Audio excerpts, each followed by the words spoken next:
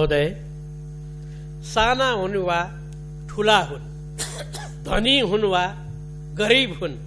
सहरिया होस् कि गाउँले होस्। वास्तवमा मान्छे त मान्छे हो नि।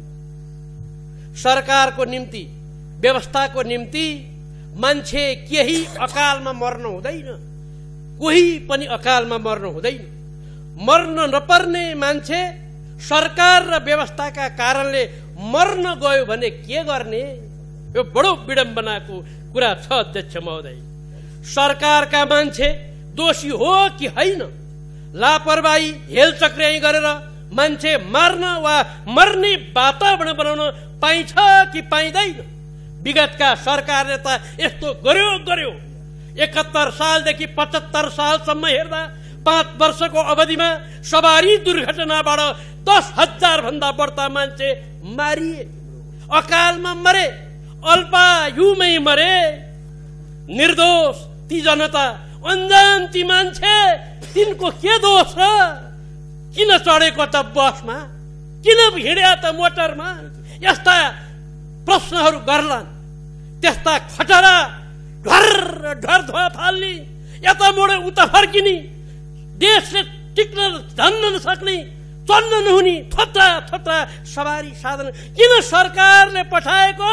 गाउँ गाउँमा यम्बुस थप्न जस्तो गरी निकृष्ट व्यवसायीहरूको प्रभावमा परेर मान्छे भन्ने मान्छेको जवाफ के छ? संविधान र कानुन सरकार नयाँ व्यवस्था नयाँ सरकार आयो तर ड्राइभरले रक्सी खाएर बस ट्रक चलाउन छाडेन। सहरका थोत्रा प्रदूषणयुक्त सवारी साधन सरकारले गाउँ गाउँमा पठाउन र चलाउन दिन छाडेन। सेन्डिकेट चलाएर थोरै साधन गाउँमा पठाएर सिटभन्दा तेब्बर मान्छे झुन्डिएर हिँड्न पर्ने वातावरण रोक्न सकिएन।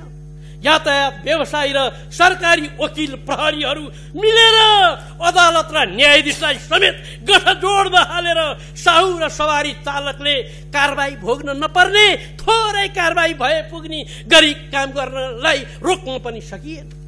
बिना योजना इन्जिनियरिङ सर्वे नगरी डोजर डोइ डोइ चलाउने डाँडा डाँडामा बाटो खन्ने मूर्खैका काम रोक्न पनि सकिएन। मन लाग्दी ठाडा भिराला घुम्ती नपुग्ने ग्रामीण सडकलाई ओभरलोड हालेर राखेर गाडी चलाउने काम रोक्न र व्यवस्थित गर्न पनि सकिएन। सडकको छेउमा बार लगाएर त्यो निर्य त्यो घस्न लागेको गाडी रोक्न पनि सकिएन। ड्राइभिङ लाइसेन्स दिने पुरा योग्यता लागू गर्न पनि राम्रोसँग जानिएन। त्यसैले हजारौं मान्छे अकालमा मर्ने काम रोकिएन अध्यक्ष महोदय। अब सरकार अब सरकार! यातायात समिति सङ्घ कम्पनी इत्यादिसँग धेरै सासगाठ र हिमचिम गरेर कानुन मिचेर अथवा कानुन संशोधन नगरेर निर्दोष जनता अन्धान जनतालाई अकालबाट मर्ने अवस्था रोक्न सकिन्छ कि सकिँदैन? कडा सुरक्षा सहितको योजना बनाउनु पर्छ कि पर्दैन? राजेन्द्र शर्मा कुबेर सिंह राणा सरोज सिटौला रविन्द्र श्रेष्ठ लगायतका विभिन्न प्रकारका समितिहरू जाँच समिति बना अरे। त्यो समितिलाई धेरै पैसा खर्च पनि गरे अरे। त्यसले प्रतिवेदन पनि बुझाए त्यो बेलाका सरकार टुवा परेर बस्यो? अहिलेको सरकार किन हेरिराखेको छैन? यी प्रतिवेदन अध्ययन किन गरिँदैन? सडकका सिद्धान्त के हो?